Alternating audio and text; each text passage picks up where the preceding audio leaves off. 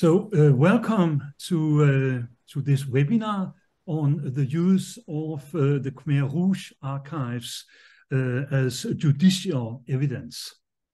Uh, this is uh, this webinar is part of the first Tuesday talks. They are organized on the first Tuesday every second month by the section on archives and human rights of the ICA, the International Council on Archives. The talks are recorded and they can later be found on the ICA website. They're all on YouTube, thanks. Uh, my name is Jens uh, Boel. Uh, I'm a member of the executive board of the section uh, of uh, of the the section on archives and human rights. Um, and I have the pleasure of introducing our two panelists today. Uh, may I just say that um, during and after their uh, interventions, uh, you are welcome to ask questions through the chat. Uh, so please use only the chat for questions. And then after the uh, two interventions, we will have a question and answer session. Uh, the interventions will, will last approximately 20 minutes each. So the first of our panelists is Mr. Song Pheaktra. Uh, Mr. Pheaktra uh, is the head of the archive service of the Tuol Sleng uh, Genocide Museum and has been so since uh, uh, 2018. Um, Pheaktra is in charge of several uh, research projects at the museum. He will be followed by uh, Dr. Helen Jarvis, uh, who has for many years worked on uh, documenting uh, genocide in Cambodia. And um, in addition to uh, her uh, academic career in Australia, she has been deeply involved in work for justice in Cambodia. Helen was chief of public affairs and then chief of the victims support, support section of the extraordinary chambers in the courts of Cambodia. So welcome to both of you. I now first give the floor to you, Pheaktra, uh, to present the archives of the Tuol Sleng Genocide Museum. Over to you. Jiripsu and hello everyone. Now I'm starting uh, share my screen.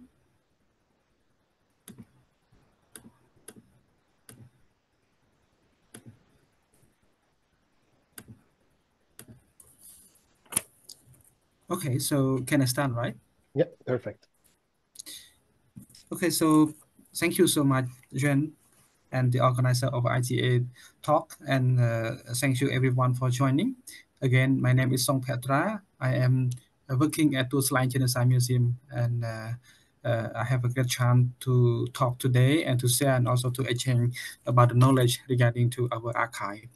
But uh, before coming to the topic specifically on this uh, uh, Genocide Museum archives, I would just uh, share a little bit about the background of archive. I'm sure that most of you might aware about Cambodia, but some maybe not uh, know too much, know much about uh, what uh, happened in the country and why the archive existed. So I would like to start with briefly that we have a long time of the civil war during 1970, 80, and 90. And this uh, also a part of connection to the Vietnam War. And after that, uh, the world have been aware about the genocide in Cambodia between 1975 to 1979. At that time, that uh, many people known uh, uh, that in Cambodia there was the genocide which have been done by the Khmer Rouge, or official name called Democratic Cambodia. And for Cambodian people, people still remember a lot about the hardworking, starvation, killing, and many other crimes. So regarding to the research, um, at least 50% of the people who have been died during this uh, three years, eight months, and 20 days of uh, Democratic Cambodia regime 50% there was dies under the violence. So this violence also considered as happened in the prison in, in, in the whole country in this three months um, there was almost 200 places which considered as a prison. So there was different level of prison and Tuol Sleng genocide museum. At the moment it was also one of the former prison. It was called s21 so today we will talk about uh, s21 and we will specifically focus on the archive of s21 as the one of the former prison. But it also to, to let you know that um, among these almost 200 uh, prison in the country only S21 which existed uh, the archive. So quite long time ago that um, research about S21 uh, have been uh, uh, started uh, and uh, many people have been know this place by publication, but uh, some of you might know when you visit the site because now this is a museum and one of the exhibition or, or unforgettable a picture from Tuol Sleng that the world uh, known is about the mugshot. You will see a lot of photo of the victim, etc. So this is a part of the archive which we, we will go into talk. So in, in my presentation here, I would like to share uh, uh, briefly about uh, um, about this research. We start with uh, how this prison of S21 uh, work on their documentation, and then I will move to Dr. Helen Jarvis to talk about the archives and the role of the archives uh, in the public use. So, like I mentioned, uh, S21 archives uh, as one of the important evidence to mention about, to talk about the crime at S21 and also to talk about the crime of the Democratic Cambodia. But um, for history and for investigation, it is a size, but for people and for for for uh, uh, survivor of the Khmer Rouge, those like also important to be a part of the evidence to show about the, the, the what happened to the whole country and and especially to show that um, the crime has been happened in that place. And uh, if we compare to the other place to the normal archives, uh, Tuol Sleng archive or Ashford Word archive would consider it as a little bit specific because it is a part of the victim uh, a legacy. It was a ground legacy. So use the archive at S41. It still uh, have a, a, limitation between uh, the ethic and also between how this document have been used. For example, I think many people are aware about this mass critic on the color colorized of S1 portrait, which have been a lot of people uh, in 2021. So it's just uh, another image show about how documents have been created. And uh, you can see that a body of the people, uh, a person, which I, I hide here, uh, but it's surrounded by a lot of uh, um, uh, papers, uh, which have been happened that during invest during interrogation, this person might kills or that because of the violence. But the document is existing, the, the, the cell is existing at the uh, at the museum, and another important paper in the right side is, is the letter from Son Sen, who was the uh, um, uh, Minister of um, um, National Defense, to Duch, who has who was director of the S21. Uh, he mentioned that S21 used too much paper. So this reflect that S21, even it is a prison, but a lot of documentation has been uh, created. So this is the summary of um, this documentation. I have uh, uh separated into the uh, five different steps that um, before arise, when the detainee arise, when the detainee have been uh, detained, interrogate, and execution. So I will go shortly to each of the type of the document.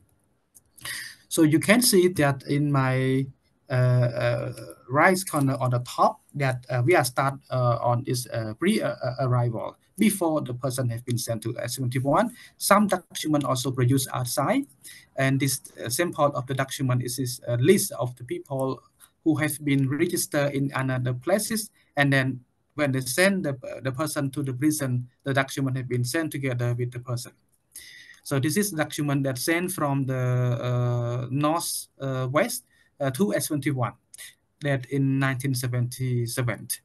And another type of document which produced outside the prison, here it is a letter uh, between uh, Bophana, another victim, which many people know about that, the, to her husband. And when her husband have been arrested, some document from her husband also sent to S21 and another one and the size this is the picture of the of the notebook uh, from Praksarit. Praksarit is a, a, soldier who who was might be came from the eastern part of the country and uh, uh, in in his notebook there was a lot of information and a lot of the name of people in his uh, uh group and one of the his uh, um, uh, colleague which i i try to Uh, check is are there any still survive but no one of his colleague have been uh, uh, alive so beside document created outside those documents have been brought to S21 by different reason. But when the people have been arrived at S21, the, uh, the process of S21 also created a lot of document. For example, here, this is the entry list, which have been registered really detailed about the names, about occupations, about the place where those people come. And they even uh, calculate groups by group of people who was uh, uh, sent to S21.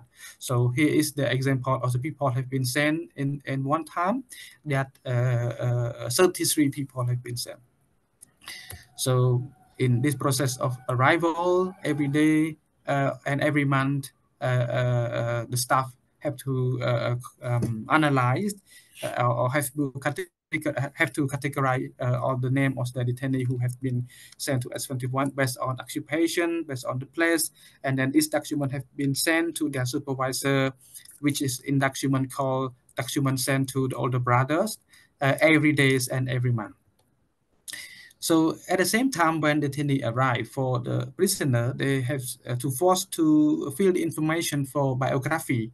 So uh, many biography that existing at those lines at the moment.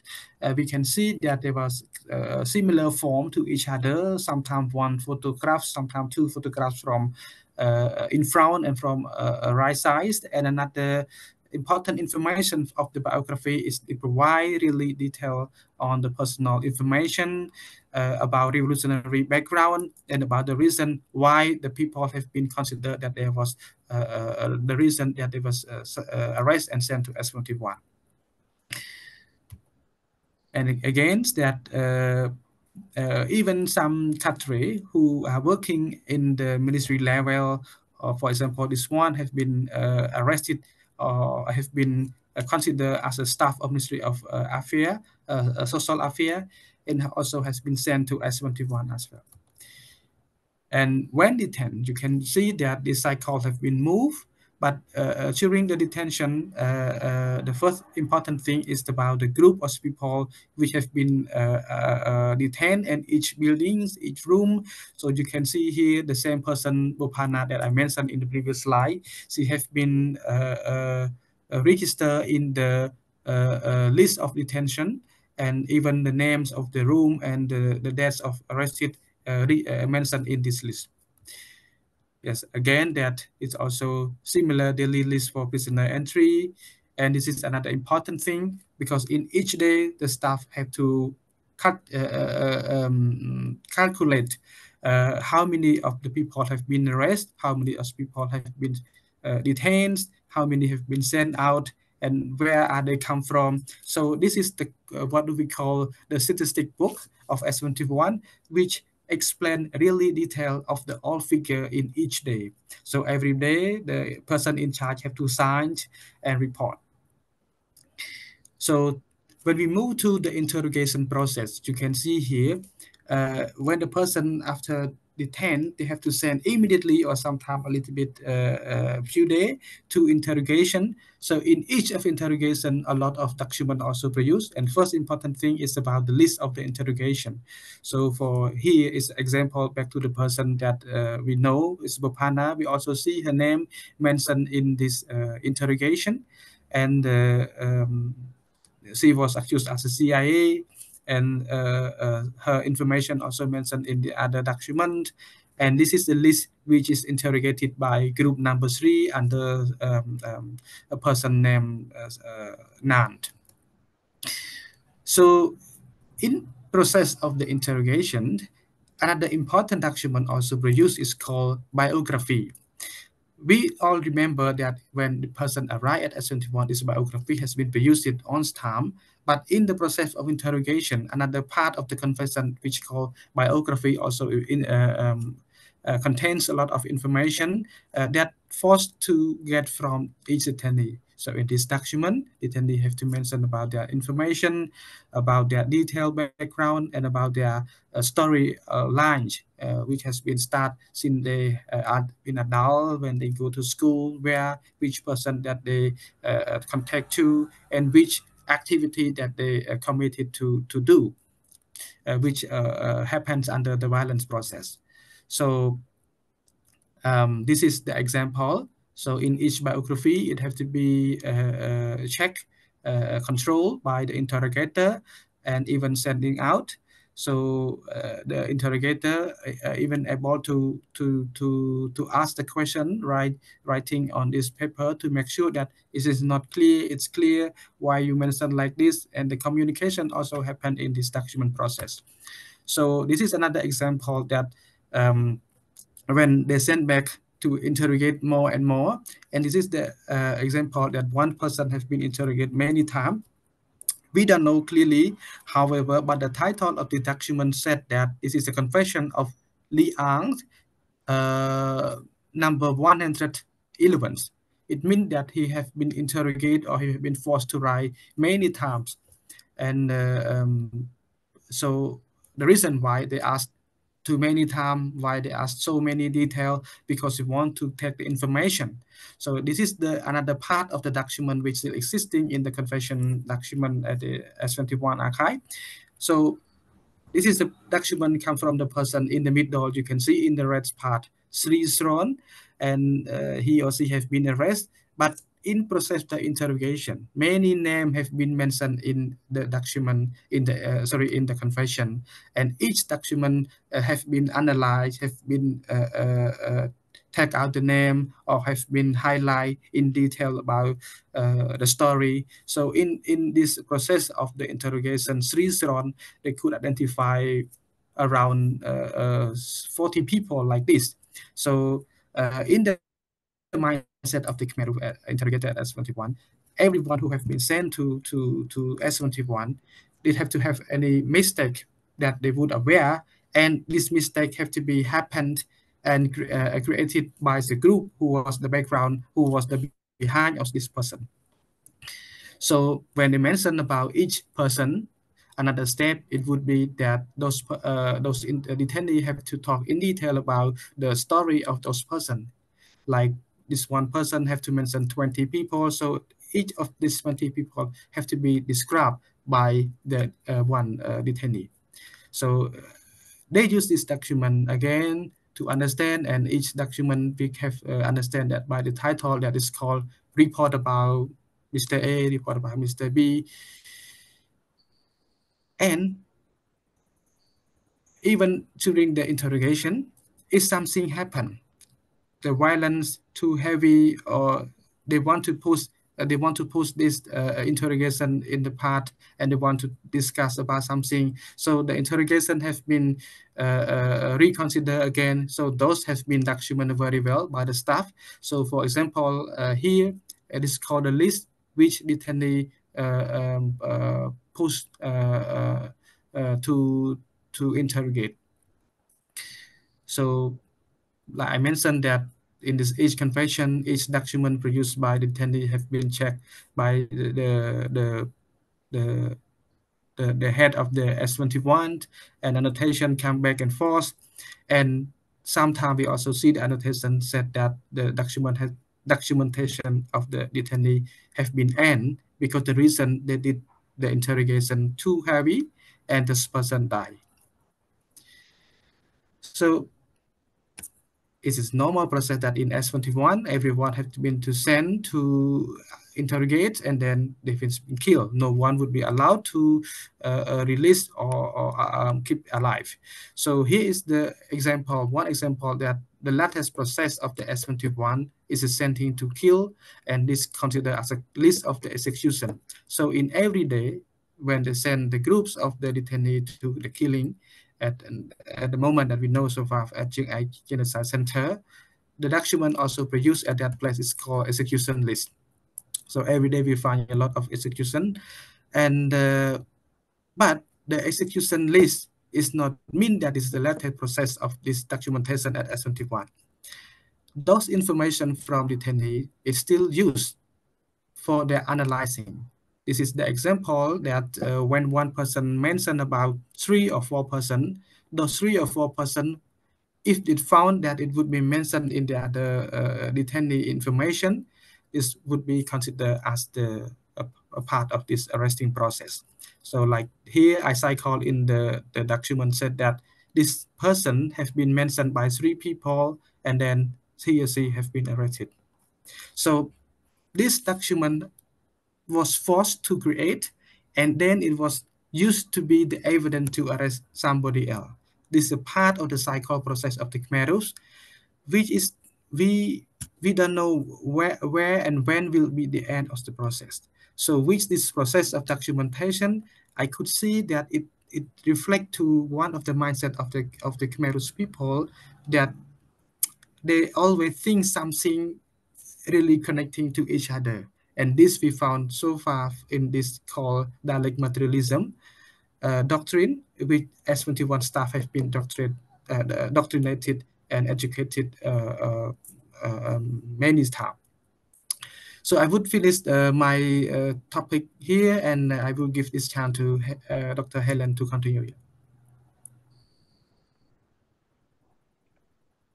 Hello, Helen. Thank you. Thank you. Oh, thank you. Thank, thank you. you. Yes. very much, uh, Pheaktra, uh, uh, for this very powerful and uh, also, well, horrifying um, presentation. In, I mean, this is you. You really you show the the bureaucracy of uh, inhumanity in a, in a very, very clear way. on uh, this uh, will, uh, I'm sure it will inspire uh, questions later on. So Helen, uh, please now, um, I would now you will speak about the use of of the archives. So the floor the floor is yours. Thank you, thank you. Yes, well, Pheaktra, if you could just continue a little bit. Uh, thank you very much, Pheaktra, for uh, explaining the indeed horrifying content of the documents that um, that you have to deal with every day, and it's a distressing, a distressing job, but it's an important job, especially for people still finding, looking for their relatives who may have died and we'll come to that a little bit later on. But uh, if you just continue uh, the slides, uh, Pheaktra. Um, so uh, we are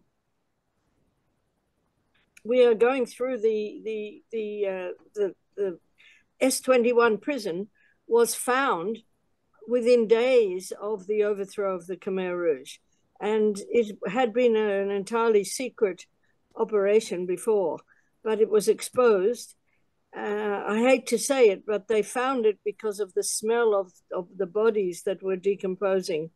Uh, because the when they fled, when the uh, Khmer um, liberation forces and with Vietnamese uh, forces came into the city, they fled very quickly, and that's why many of the documents remained. And um, Duch was actually chastised afterwards for not having destroyed these documents. Uh, fortunately, he didn't. Um, but anyway, so the, the documents were found immediately in January 1979, and the staff immediately started collecting them and trying to sort them and trying to work out what was the system. It, they were in disarray. As you could see in that earlier photograph that Pheaktra showed of the body on the floor, and and documents strewn across the floor. So it's been a, a, a, big puzzle to put things back together and work out how the how the S21 uh, documentation system was working, and that is what uh, Pheaktra has done in his master's thesis, uh, finished last year, I think. So uh, can you just uh, go on to the next slide, Pheaktra? Okay, thank you. And then what happened very soon afterwards, the immediately the new government realized that the the importance, the significance of this archive in proving what had happened, because people didn't believe it was completely unbelievable that you could uh, lead to the death of a third, perhaps a quarter of the population within those three years, eight months, and 20 days that um, Pheaktra referred to. And so it was very important to to have this documentation. Otherwise, it was uh, it was difficult, as I say, hardly believable uh, that this could happen. Uh, and immediately, uh, the uh, the new regime realized the importance of the documents, um, and they they immediately um, started preparing for a tribunal. So in January, they overthrew the Khmer Rouge, and already in August of that same year, they held what was called the People's Revolutionary Tribunal. And we don't have very many pictures of it, but the, on the left you can see the, um, if you can, it's a little bit small, but the um, bench bench of judges. They call them people's assessors. Uh, oh, good. Thank you for blowing it up a little bit. Yeah, in uh, sitting on the stage, and and an exhibition um, at the same time. And now you can see that it was uh, a, very well attended um, uh, tribunal. And this is in one of the main buildings in Phnom Penh, a very well known building called Chaktomuk Theatre, which, if anyone's been to Phnom Penh, you would know it, um, by one of Cambodia's most famous architects. And so instead of being used for beautiful dancing and speeches and so forth, it became used for the tribunal. What is amazing to me is that they managed to uh, hold this tribunal just uh, eight months after uh, overthrowing. And the, the conditions that they had at the time after the Khmer Rouge was really, as you uh, have probably often heard the term, year zero. Uh, so there was no electricity, water, uh, facilities, even you know to try and get a typewriter that was thrown out in the street. Uh, the facilities weren't there. It wasn't like today with anything like uh, computers and photocopiers and, and things. But they managed to get an enormous amount of documentation and testimonies, including uh, from S21. And of course, that's the subject of our talk this evening. Uh, so if we can go on to the next slide. Uh, this is uh, the same theatre, the Chaktomuk Theatre, and this is how it looked on, on the days when the tribunal was in session. There were uh, people crowding outside in the street, and there were loudspeakers uh, mounted on the side of the of the courthouse, and also it was broadcast over national radio. And in addition, there were a number of uh, foreign correspondents in in attention uh, uh at the uh, at the um, tribunal uh, from a number of countries, including from Germany, both East and West Germany had had correspondence from France, from Cuba, mostly from the socialist and pro pro socialist countries, and India. so continue, please.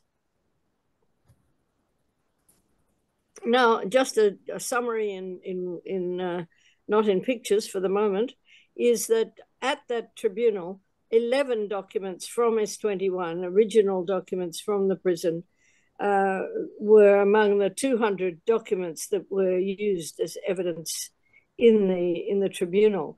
The tribunal looked at these consisted of witness testimony of people who had been actually imprisoned, and including a guard, uh, also investigation reports, uh, and some of those documents that uh, Pheaktra showed to you earlier, as well as reports uh, by the investigators uh, of the situation of Cambodia, the, the health situation, uh, the, the, the number of deaths, etc., etc., which were which were produced after the um, S21. The judges themselves were taken to the site of S21, And there at the site, they were shown 19 mass graves. I think uh, approximately 30 to 40 uh, people had been buried together in, in individual graves. Uh, and then uh, they also went to an earlier site of S21 where they saw 10 more graves. Now, they did not go to what we know today is often referred to as the killing fields of Choeung Ek. Those of you who have been to Cambodia would probably have been to the killing fields. So today, many tourists attend uh, the S21, the Tuol Sleng Genocide Museum, and also uh, out of town, about 15 kilometers away, the mass execution site where we understand uh, up to 20,000 people were killed. And so the judges were taken to to the S21. As I mentioned before, it was broadcast and with journalists. So next one, please.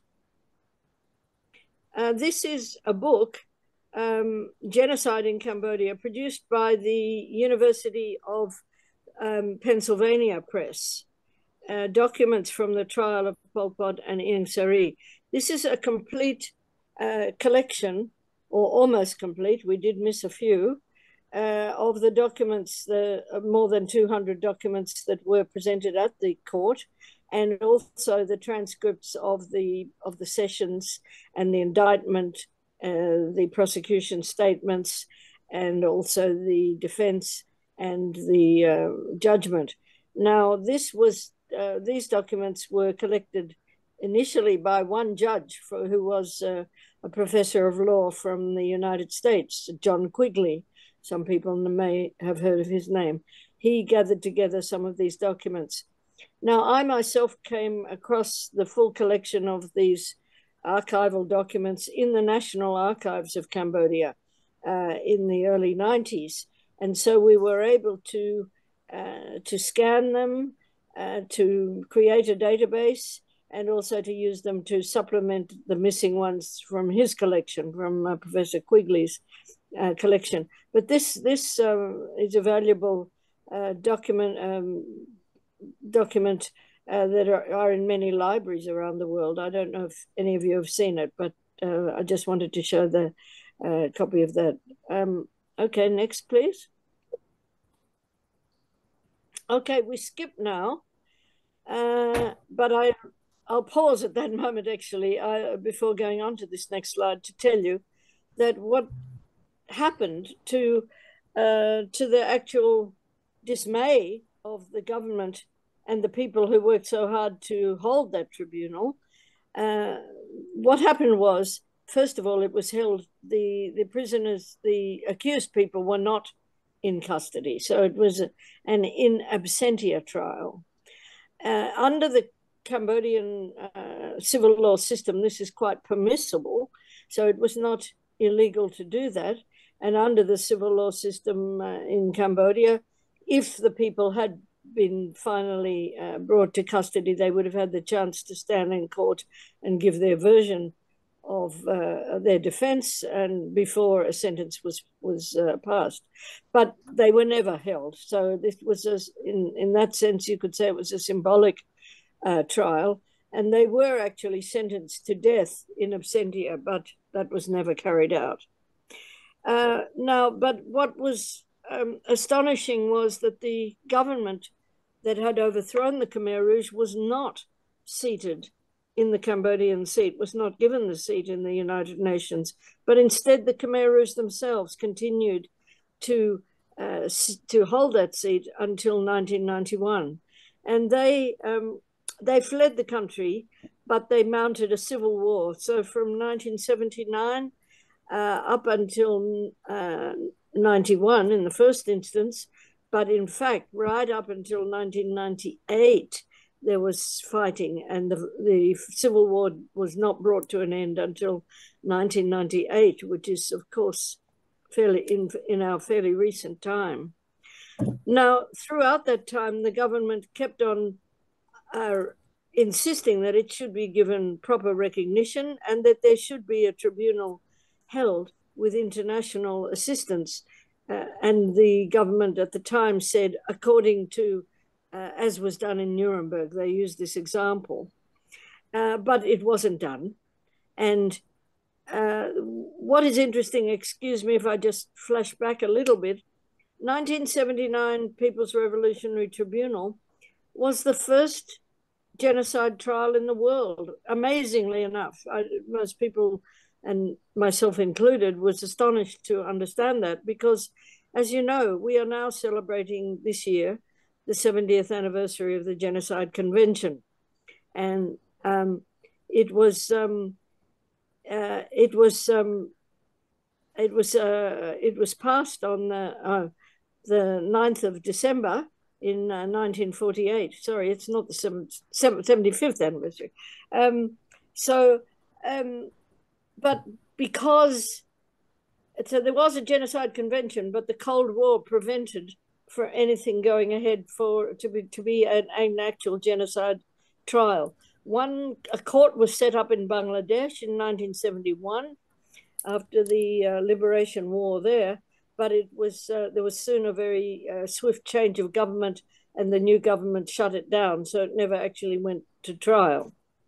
Um, but anyway, the government of Cambodia still kept asking, and finally in 1997, uh, just at the end of the civil war, there was a, a, a unity government at the time, a coalition government, and we had two prime ministers at the time. The co prime ministers wrote to the Secretary General of the UN and, and once again made a formal request for a tribunal. And the, in 1998, the General Assembly uh, can, uh, recognized that there had been a genocide and that there should be a tribunal. But it took from uh, 1998 until 2006 to actually get it off the ground. And uh, I was involved in that process in assisting to in uh, setting up the court. And anyway, when it finally did take place, uh, the judges were sworn in on 2006, and the final case. Uh, there were only three major cases held and, and heard by the tribunal, but these were of the most senior leaders, unlike in many other cases where, where tribunals have had to start with a low level uh, guard or uh, individual murderer and say who gave you the order and work up to find out who was responsible. In this case, in what we call the ECCC, the Extraordinary Chambers in the Courts of Cambodia is the full name. I should have written that on the slide. Um, uh, was was held, and they held uh, all these all the few remaining uh, and surviving leaders, uh, what they call senior leaders, and including the um, the the person most responsible for the S21 prison. So Duch, whom uh, uh, Pheaktra had mentioned several times, was the um, commandant of the prison there, and he was uh, sentenced to life imprisonment. And in fact, he did die in prison after his uh, sentencing. Uh, he cooperated to a certain extent with the um, with the tribunal and did provide an enormous amount of uh, information. And he was taken uh, by the judges to both both the S21 site and the execution site and verified um, much of uh, of uh, what was documented in and and verified the authenticity of the documents. So in the ECCC through this period, more than 4,000 documents from S21 were used. So you can see it was quite an extensive compared to the 11 that were used in uh, 1979, but an enormous number of, of lists, biographies, interrogation records, convention, confessions, so-called confessions, obtained under torture, reports, internal memoranda, execution lists, and photographs uh, as Pheaktra has um, has has outlined. And from these documents that were extracted for, from the court, so far we have identified 21,163 names of people who had been detained at S21. That is not a final list. The documents are still being analyzed, Uh, of course, it's extremely difficult because people used, uh, first of all, they used revolutionary names. They didn't always use their uh, documented names, so people had several names. Uh, also, a number of people may have had the same name. And so, actually, determining from the lists who who are separate people is an extremely challenging uh, process and one that we still have, I think, quite a long way to go. And another thing is that a number of children were held at the at the at the S21, which is horrific. Uh, but many of these children were not; their names were not taken at all. They were not documented, and the Khmer Rouge had a um, a saying that if you have to, if you want to get rid of of the weeds, uh, you have to dig it out by the roots. And so, therefore, they they if they wanted to arrest one person, they arrested the whole family, and including the children, the wife, and anyone who was associated with them. And often whole families were brought in, but they then their names, their individual names, were not all recorded. So we, there were probably more more more names, but whether we'll get to them or not, we don't know. In addition, we suspect uh, that there are missing records. Certainly, records have been lost.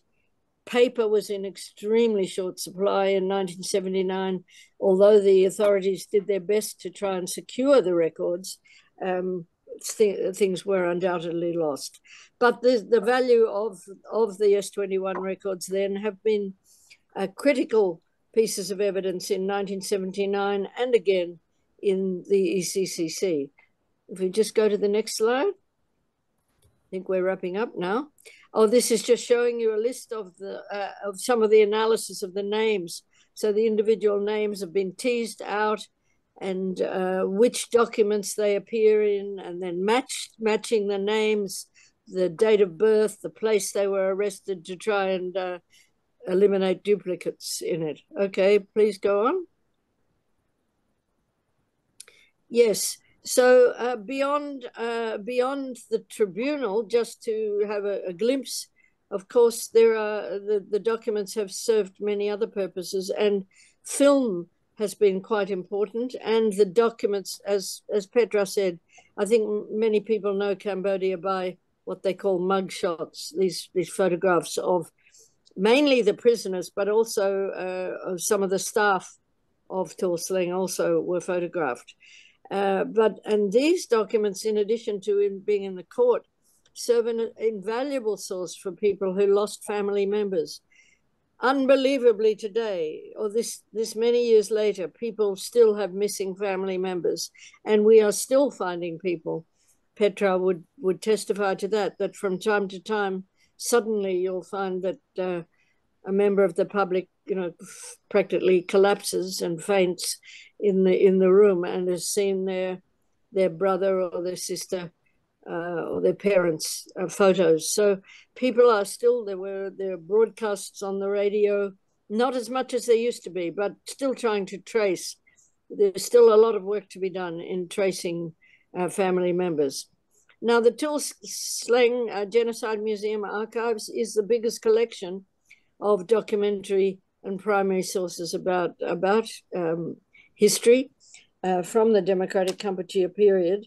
And in fact, as Pheaktra said, it's the only prison where there was really surviving documentation. One other prison, we have uh, several hundred pages uh, that were uh, amazingly uh, retained. But in the meantime, as I said, in 79, paper materials were in short supply. Prison uh, prison buildings were torn down. People used the wood, and people used the paper. So a lot went missing.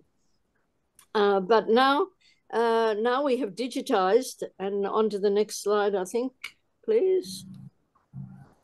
Uh, and uh, I'll just show you there is a photograph of the uh, registration, a committee opening, I mean, unveiling a plaque to mark the registration on the Memory of the World uh, um, International Register. It's also on the regional register first um, for the Tuol Sleng Genocide Museum Archives of UNESCO.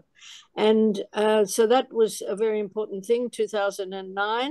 And then we ha had a big digitization project. Next slide, please. And uh, in 2021, uh, was awarded the Jikji Prize for uh, preservation uh, doc of documents, documentary preservation.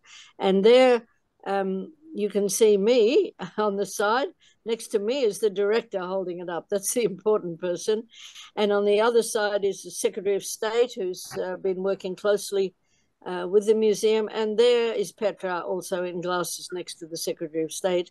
And everybody else, that's by no means the whole staff, but it's the key staff who were involved in the digitization project. So it's nice to be able to honor them in a photograph and uh, and to have received very very great honor to receive the Jikji Prize from uh, Korea and UNESCO. And is that the end? Do we have another slide? Conclusion. Yeah. Do you want to say a conclusion then, Pheaktra? No, I, I don't think that is. We already talked talk, uh, a lot okay, about I think that. we've we've said more or less. Yeah. But oh, just go back. Just go back. Uh, that's that picture there is a bit unclear, but it's also another uh, part of the archives is graffiti. So we've done a, a very interesting project of over a thousand items of graffiti uh, on the walls from the time when uh, the the building was used as a school, when it was used as a prison, with people marking the days that they were held and making some tragic statements scratched into the wall, and then later on as a museum where unfortunately tourists have also, uh, in the early days, uh, written some graffiti. So thank you. We can go to the our last slide, which Pheaktra's made with a photograph of a frangipani, which is the symbol of remembrance and the effort of, uh, of Tuol Sleng Museum, open access, memory, and civil rights. So thank you. Thank you. Thank you so much, uh, Helen, and uh, for this very comprehensive overview and for sharing all these insights. I think both of you together, I mean, you have done so much for the remembering indeed. And uh, today, I think it was really wonderful, very moving as well, and very precise. Um, thanks a lot for bringing uh, these archives into, into context. Uh, so we, um, will move on uh, with uh, a few questions. I should congratulate you as well, of course, with Jikji Prize and uh, Memory of the World. That is that is really great. So you are most free to ask questions since there is none right now as far as I can see. Then I I have questions. Thanks. So if I may, um, well, I would like to start, uh, Pheaktra, uh, with one question. Uh, in particular for you probably, because you know, as you know, for the cover of the French edition of uh, the book on archives and human rights, we uh, used one of those mag shots. We used the photo um, from your collection, uh, as you know, and you gave us kindly the permission to do so. So this is a, a photo of an unidentified uh, young uh, uh, woman, clearly frightened. Um, so, uh, and one question that keeps uh, haunting me, in fact, is that we have this very clear photo of this uh, this uh, prisoner, and uh, then we don't know who it is. Uh, but I mean, many people, hundreds of people, must have known her. So I just wonder how comes. I mean, nobody has stood forward, and they really all have been killed. Or how how would you explain this? that's my first question.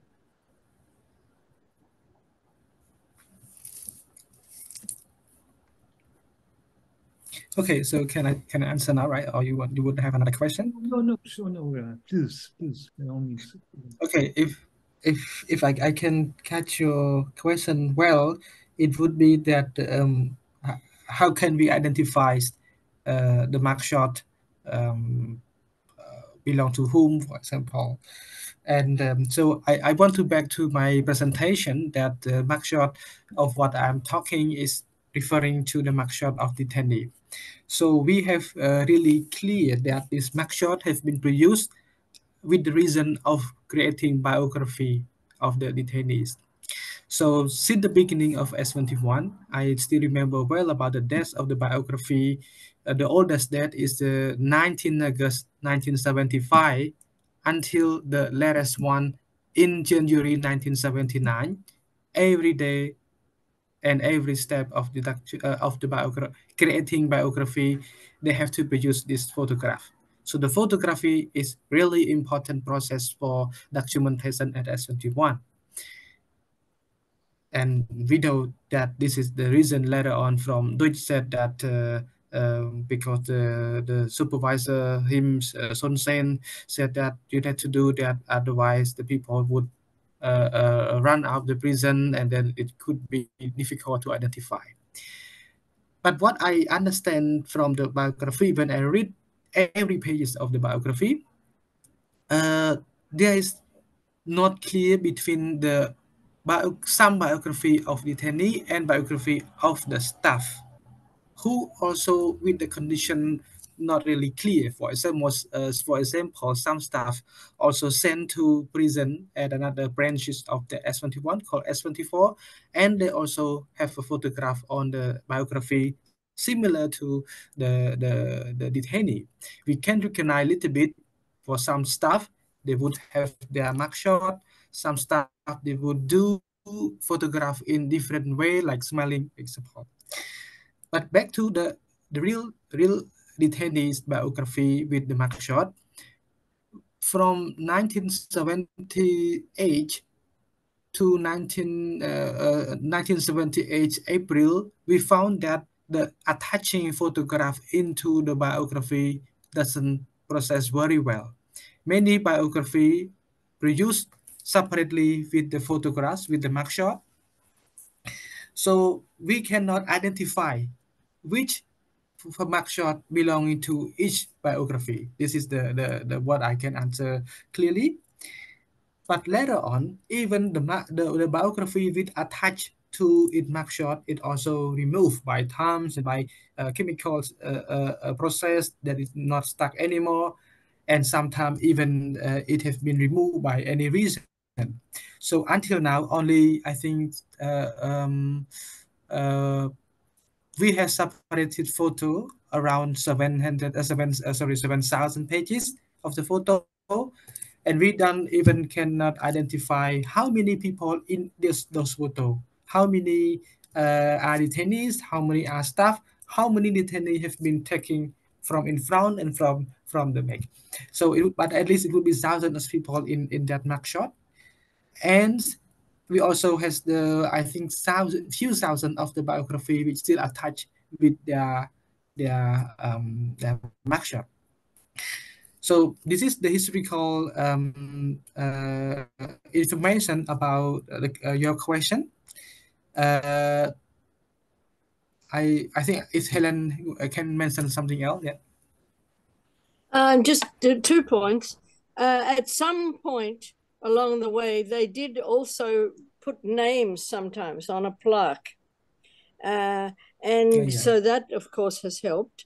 Um, but in most cases, there were numbers, and it wasn't as the numbers were not prisoner identification numbers, but there were numbers of the, the photo in the film mm-hmm. uh, for that day. So that's why there are many repeat numbers of the same number. So this is this is a job that really does need to be done. It's a huge job, but I think we should be probably looking into into a bit more of AI for matching, uh, matching what we can. So this is uh, something. If anyone wants to come and work on that project, it really needs to be done.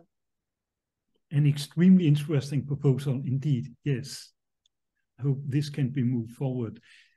Well, I, I don't yet see uh, questions, please uh, don't uh, uh, don't hesitate to to to ask. in the Jens, there are a couple of questions in the Q and A.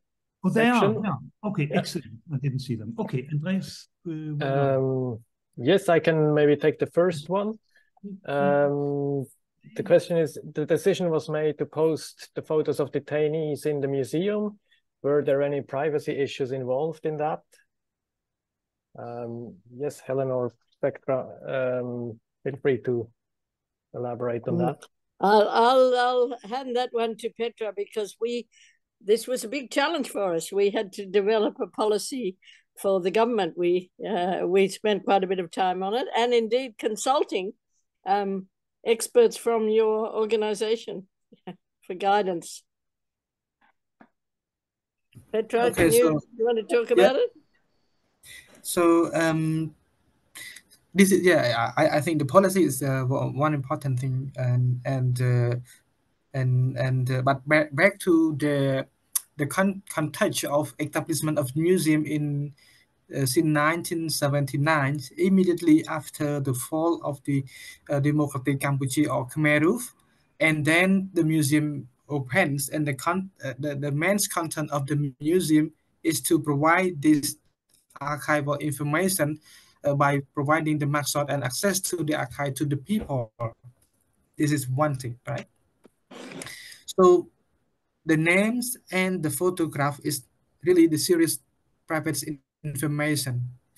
And in my research, I I can see that the contact of Cambodian people in 1980 or maybe late 1979, the most important thing at that time is is is, is uh, uh, was trying to survive. This is the most important thing. Food, maybe some basic needs, and another thing that we can see a lot of the documentation that we have is the movement of the people. They travel from one place to another place. And when they pass the city, they would go to Tuol Sleng, which was maybe known by people at that time, to find about the information of people who was there. So I think this uh, th that was the one uh, way to exhibit the photo of Mugshot, while many people could identify, but they could not read the one thing. And if they have any other question, I think that the consultation with the archive also provide at that time. And uh, so back, back to the answer, in the context of the following of uh, the, uh, the collapse of the Khmer Rouge, the creation of the museum have specifically focused on providing this information by exhibition of the mugshot. But back to our context at the moment, right? We are talking about how we can uh, uh, um, respect to those victim information, I and I have to acknowledge that there's still some of the violent graphic still display at the museum size. But this is what we are going to deal because uh, uh, we got many many young people who visit, and a lot of them also want to find information. That's why we try first in our archive website that uh, uh, we provide this the same uh, uh, content, sorry, the same uh, mugshot into the access in the website, but into much more context that you can see that the message would alert that those photo creating under the violence and so on. And thing, in the context of violent photo or unexpected way of the detainee, we also blocks in the website. Yeah.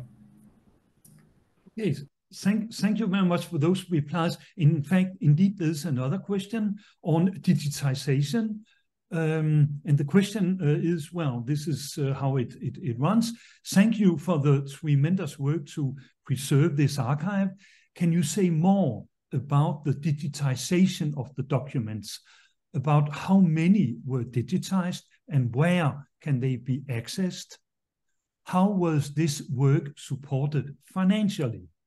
So this is the question. I don't know. Okay, so I I I, I will continue. So you you you you remember uh, in the uh, presentation when Dr. Helen showed the picture about um, the memory of the world, right? So one important thing from us, our Cambodian government, even we start the um, we start the museum and also the archives in 1979, but providing really the basic preservation into the archive for like for example providing staff and some basic technique.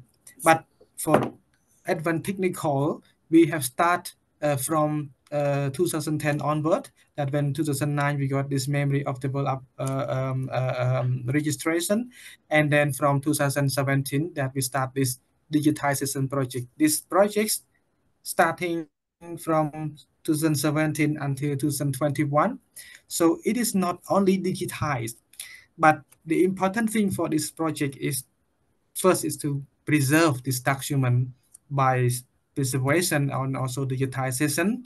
Second, to update the condition of the archive depository. And the third is to provide a capacity building to make sure that our colleague should continue maintain those digital record and also to continue this technique along with the museum. So uh, for this project, uh, uh totally we have um, uh, S21 record contain more than 700,000 pages of document.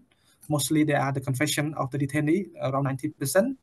And the other is a photo list, uh, notebook, and other publication of the Khmer uh, and uh, we have done more than 4,000, uh, sorry, uh, 450 uh, um, um, thousand 450,000 pages uh, which digitized.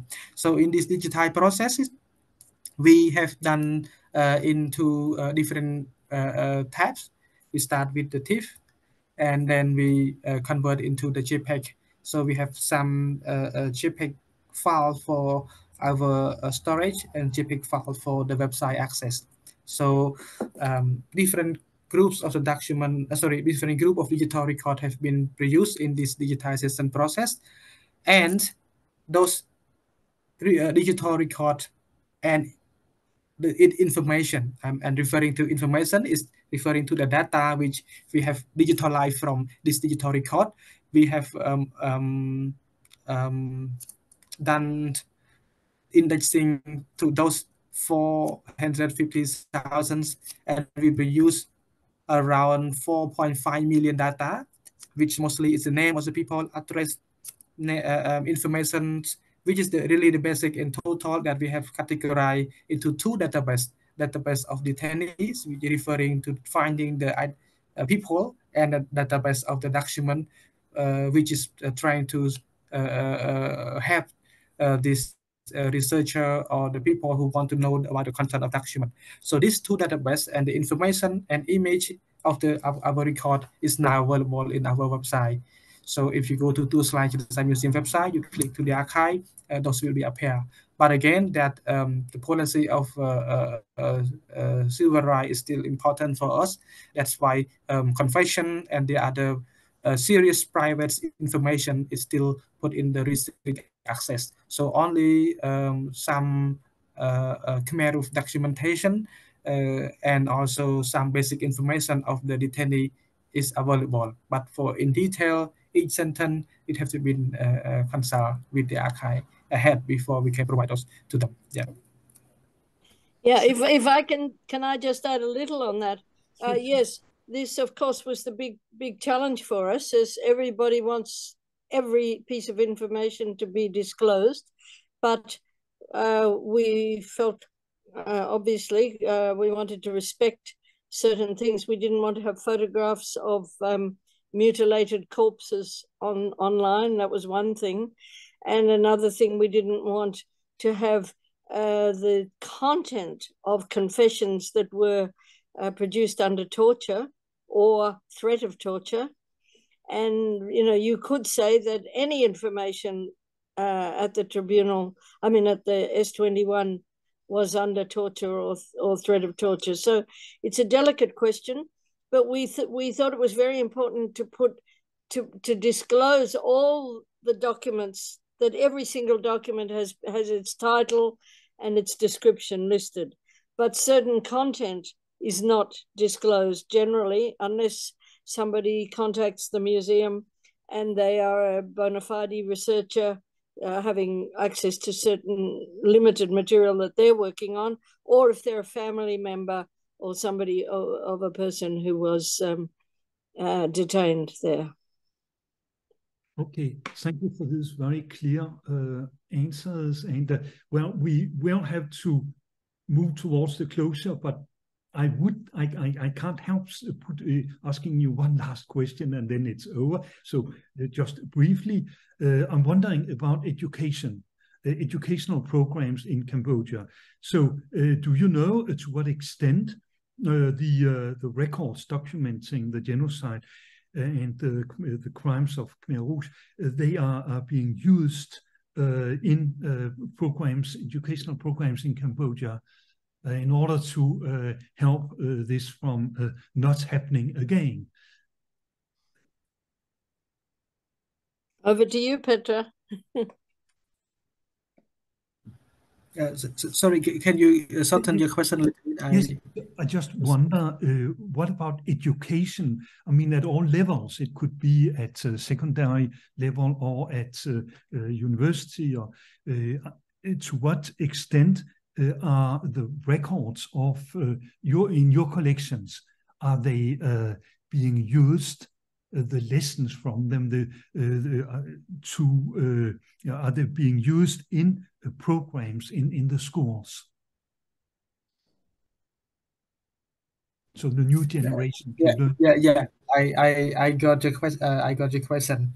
And i have to be honest that uh, access directly into the archives of Tuol Sleng is uh, um, if I'm not wrong, we don't have much uh, Cambodian uh, people who who access directly into the archive compared to the number of people who want to access the restrict. Because normally only people who want to request restricted document or who want to use the photo or something else uh, like your cases that we record in our administrative um, um, for the archive.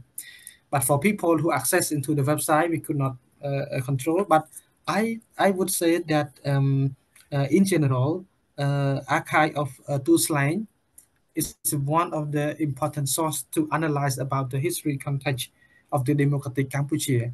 And those those information have been uh, uh, uh, worldwide used, and not only for Cambodian people, but also for people from around the world. But I back to the context of the Khmer education in Cambodia, democratic Cambodia history is only um think that around less than 20% of the all, whole history uh, teaching.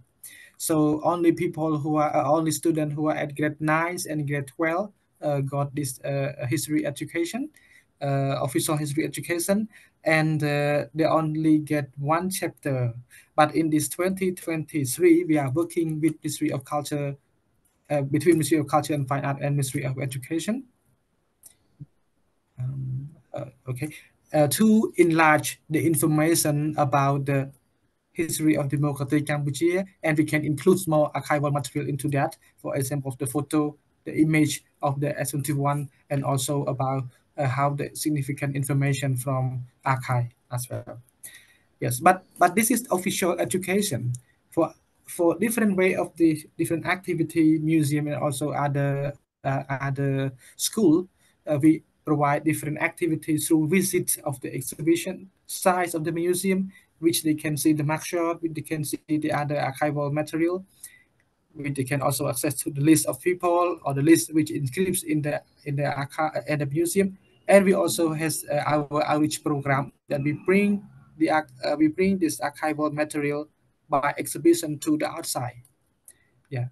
So with this kind of activity, I think that we are even uh, uh, uh moving uh, slowly, but it makes much more bigger, interesting from the people. Yeah.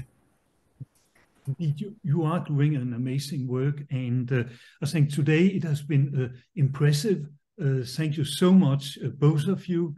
Uh, and um, we, uh, well, we are very honored that you have been with us today. So thank you and uh, good luck with the continuation of your of your work. Um, I, I, also want to to to thank uh, Andreas uh, Neff, uh, who has ensured the logistics, the technical. I mean, who has made it possible for us to meet at this webinar, and Perrine Canavaggio, who is organizing this first Tuesday talks. Um, let me just say that the next first Tuesday talk will be in February. It will also be very interesting. It will be with the executive director of uh, Memorial International in Russia, uh, Helena Zhemkova. And uh, you can find more information on this, of course, on the ICA website, in particular when we get closer. It will be on the 6th of February. But well before that, next Sunday, when it is, uh, well, Helen mentioned the 75th anniversary of the Genocide Convention. As you know, it's also the 75th anniversary of the Universal Declaration on Human Rights. And we do have a, a webinar next uh, Sunday at the same time, 4 p.m. Uh, uh, Central European Time, with Peterson, uh, and who will uh, present uh, her archival commentary. She will discuss the articles in the declaration um, and demonstrate their relationship with archives and show how archives can support each of these of the uh, the 30 articles in the declaration. So I think this will also be very interesting mm. next Sunday at uh, the 10th of December at uh, 4 p.m. Uh, Central European Time. Thank you so and much. May, may I ask, is, yes. are these talks open to the general public or do you have to be a member of ICA to no, you don't. You don't have to be a member. Uh, everybody can can access, uh, and uh, yeah, they're absolutely open. So if you want to oh, spread the word, you are most welcome. Thank you, thank you, and may I just say um, thanks again for the uh, opportunity to speak tonight to the to your audience, and uh, really the work of your group is so important, and uh, you know, well, we're all on the same boat, aren't we? Absolutely, but uh, but you are on uh, the late night watch here, so, so, thanks a lot for, for doing this so late in the evening in in in Phnom Penh. Thank you so much. Thank you so much, everyone. Goodbye. Good night. Yeah. Right. Good night. Good night to you. Bye, everybody. Thank you. Thank you.